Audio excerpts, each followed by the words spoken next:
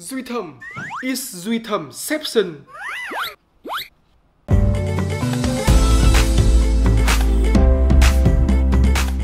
Uầy, WatchOS 10 có cái mặt Memoji này mình dùng làm một cái mặt mình luôn. Wow, thậm chí là có cả một cái mặt như này nữa các bạn. Đâu nhỉ? Đây, uầy, nhìn hay nhờ Trông đã kinh khủng. Xin chào anh em, chào mừng quay trở lại với channel của mình. Tuần này chăm chưa? Hôm nào cũng lên video nhá. Một tràng vỗ tay còn gì nữa.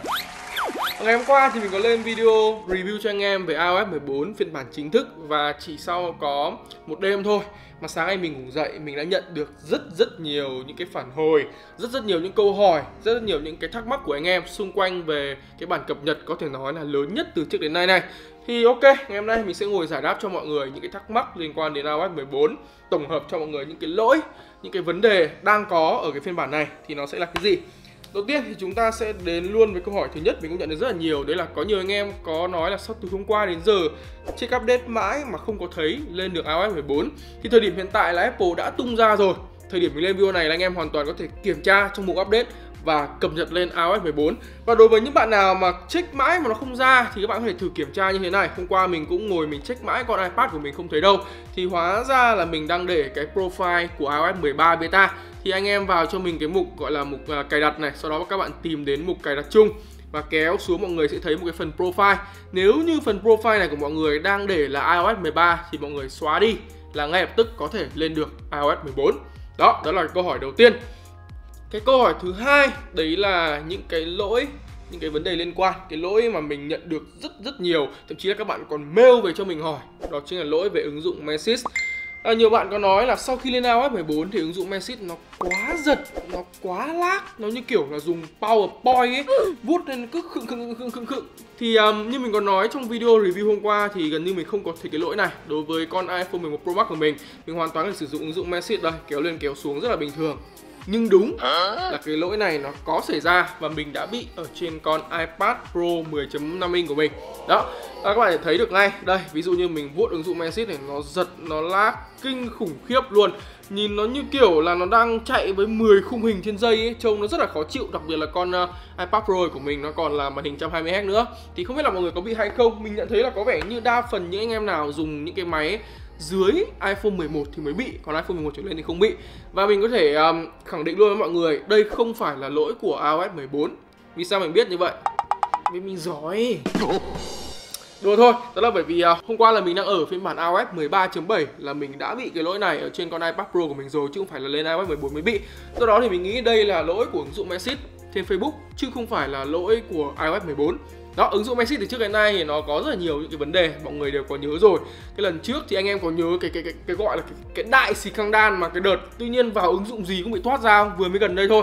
Xong mình còn bị cả cái lỗi mà cứ vào ứng dụng Messi là nó auto khởi động lại máy đó rất là nhiều những cái lỗi liên quan đến cái ứng dụng này vì mấy anh Facebook làm ăn áp yếc vớ vẩn quá. Do đó thì đây không phải là lỗi của iOS 14 đây là lỗi của ứng dụng Message và nếu như anh em nào có bị thì có thể comment xuống phía bên dưới. Và mình nghĩ là trong thời gian tới thì sẽ có một bản cập nhật nào đấy cho ứng dụng Message để khắc phục được cái vấn đề này. Đó đó là cái lỗi mà anh em hỏi mình rất là nhiều thì đã giải đáp rồi. Cái tiếp theo cũng như thường lệ đó cứ khi nào mà lên sóng một cái phiên bản iOS mới là lại có những câu hỏi liên quan đến hao pin, nóng máy, bla bla bla. Thì đây, anh em để nhìn thấy trên màn hình rất nhiều những câu hỏi trong cả video của mình trong cả trên những cái group ở trên Facebook. Ví dụ như đây pin tuột rất nhanh và nóng máy mình dùng ES Max cỡ 2 tiếng mà tuột đến tận 50% pin. Dùng 2 tiếng mà tuột tận 50% đó lúc sáng 6 giờ thì pin đang 100% chả hiểu sao đến 11 giờ thì lại chỉ còn có 9% đó thì có phải là vì iOS 14 nó quá nóng nó quá lỗi nó quá hao pin hay không? Thì thứ nhất là đối với mình mình dùng iPhone 11 Pro hiện nay đang có bán ở chuỗi thống của Cellphone iPhone 11 đặc biệt iPhone 11 ấy, đang có mức giá giảm cực kỳ ok. Đừng link phía bên dưới nhá. Thì mình hoàn toàn thấy nó bình thường mình không thấy nó nóng pin cũng ổn. Mình vẫn có thể dùng được một ngày một ngày rưỡi rất là bình thường. Thật ra thì ngay trong cả những cái bài post mà anh em có than phiền thì ở phía bên dưới cũng đã có những bạn có giải đáp là có thấy vấn đề gì đâu? Có thấy nóng gì đâu? Tụt pin đâu? Dùng rất là bình thường mà. Thì uh, về cái vấn đề nóng máy như thế này anh em có thể thử kiểm tra xem. iOS 14 nó có một cái tính năng mới là cái widget ấy. Nếu như mọi người kéo quá nhiều widget ra màn hình chính mà widget nào cũng hoạt động chạy ngầm cũng kiểu thời tiết xong định vị các thứ thì nó sẽ tụt pin rất là nhanh. Cái này là đương nhiên.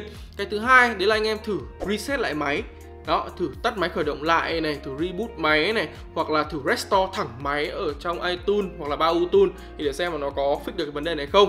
Và cái quan trọng hơn đó là mọi người thử kiểm tra pin bên trong. Đó. À, mình nhận thấy là đa phần những anh em than phiền về vấn đề pin thì đều sử dụng những cái máy iPhone XS cái kiểu trở xuống thì có thể là dùng máy được khoảng 1 2 năm rồi thì pin nó đã bắt đầu chai rồi, nó không còn được ngon nữa. Thì kiểm tra xem pin nó bị chai chưa hoặc đơn giản nhất là kiểm tra xem có phần mềm ứng dụng nào chạy ngầm và đang chiếm quá nhiều dung lượng pin hay không. Tiếp theo là câu hỏi về cái tính năng mới ở trên AirPods thì nhiều người có hỏi mình là vì sao mà mọi người dùng AirPods mà không thể có tính năng này, làm thế nào để có được tính năng này. Thì thứ nhất ấy, cái tính năng mới này nó chỉ có trên AirPods Pro thôi, AirPods 2, AirPods đời đầu là không có. Đó.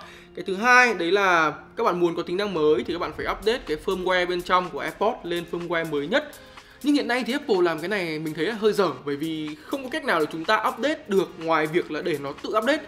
À, cái việc update firmware cho iPod thì nó sẽ diễn ra hoàn toàn tự động khi mà các bạn kết nối iPod với iPhone. Các bạn nghe nhạc thì nó sẽ tự update cho iPod. Đó chứ không có cái cách nào để mà chúng ta có một cái nút bấm update cho cái con iPod này được. Do đó thì nếu như mà các bạn chưa thấy có tính năng mới thì các bạn cứ kết nối iPod với iPhone các bạn cứ nghe nhạc các bạn cứ dùng một thời gian thì nó sẽ tự có và cách để biết là chúng ta đã có hay chưa, đấy là các bạn vào trong một cái setting này, các bạn tìm đến cho mình cái mục gọi là cài đặt chung, sau đó thì tìm đến cái mục thông tin về máy about. Các bạn kéo xuống dưới thì các bạn sẽ thấy tên cái AirPod đây. Nếu như các bạn bấm vào mà thấy cái firmware của AirPod cái phiên bản phần mềm của AirPod nó đang là con số này, thì nó đã có tính năng mới. Còn nếu chưa thì các bạn cứ tiếp tục sử dụng thôi, rồi nó sẽ có, chứ không có cách nào để tự bắt nó update được. Tiếp theo sẽ là một câu hỏi mà nhiều bạn mới lên iOS 14 từ hôm qua. Có thắc mắc là tại sao nghe quảng cáo là iOS 14 có thể xem được YouTube khi mà lướt ở ngoài màn hình chính? Nhưng tại sao ờ, out YouTube ra là nó mất hết video luôn có xem được cái gì đâu? Thì thật ra ấy, nó không hoạt động được với YouTube. Và đây là cái tính năng Picture in Picture nó chỉ hoạt động được với Safari với Netflix thôi. Còn nếu như các bạn vừa muốn xem YouTube mà vừa muốn làm những cái việc khác có một cái màn hình YouTube chạy loang quang ấy thì các bạn phải sử dụng YouTube trên nền web là với Safari. Đó cái này anh em nào mà đã dùng iPad từ lâu thì đều biết đây là một tính năng nó không mới có được trên iPad rất là lâu rồi có trên Android rất là lâu rồi thậm chí là Android còn có những cái tính năng mở cửa sổ thu nhỏ app các thứ cơ. Nhưng mà đây là iPhone iOS các bạn ạ nên là không có một cái tính năng nó như thế đâu. Câu hỏi cuối cùng của ngày hôm nay Vậy thì iOS 14 trên những cái máy iPhone cũ thì như thế nào? Em chào anh Đấy, Trả lời à, em, trả lời em Thì đối với lại những thiết bị iPhone cũ Cụ thể đây là ban nãy em vừa có Vừa là gì đây? vừa với số test với lại chiếc iPhone 7 Plus ừ. hai cái iPhone 7 Plus ừ. một iOS 13 một iOS 14 thì em thấy rằng iOS 14 con này là tốc độ mở ứng dụng nhanh hơn là nhanh hơn nhất. luôn nhanh okay. hơn cái thứ hai là đa nhiệm thì nó vẫn xem xem ừ đấy với cả nói chung là tính năng các thứ thì nó cũng nhiều hơn. Thế còn vấn đề nóng máy xong rồi không nóng hao máy. pin nó kiểu sao? Không nóng máy. có lỗi gì xảy ra không? À, không nóng máy này không có lỗi gì băng áp này. Nói chung là ok. Lên em, được đúng không? lên được lên được. Các bạn để xem video chi tiết hơn ở tại anh em TV rồi và sơ bộ đó là những cái câu hỏi mà mình nhận được rất là nhiều về iOS 14 Những cái lỗi, những cái thắc mắc và cách khắc phục những cái vấn đề đang có ở trên iOS 14 thì anh em có gặp phải những cái lỗi gì khác nữa không? Có thể comment xuống phía bên dưới. Nhiều người mình nhận thấy có nói là ui cứ bảo iOS ổn định các kiểu. Nhưng tại sao lại suốt ngày thấy người ta chia sẻ lỗi, suốt ngày thấy lỗi này, lỗi kia? Thì thực chất ý, một phần các bạn thấy suốt ngày iPhone nó lỗi đó là bởi vì người dùng iPhone rất là nhiều.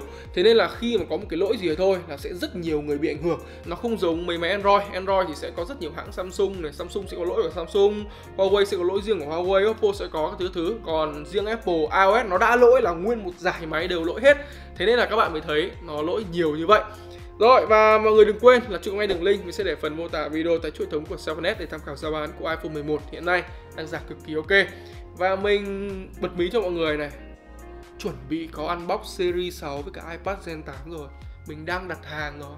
Chờ nhá. Tôi chăm chỉ quá, trời ơi. Chăm chỉ quá mà.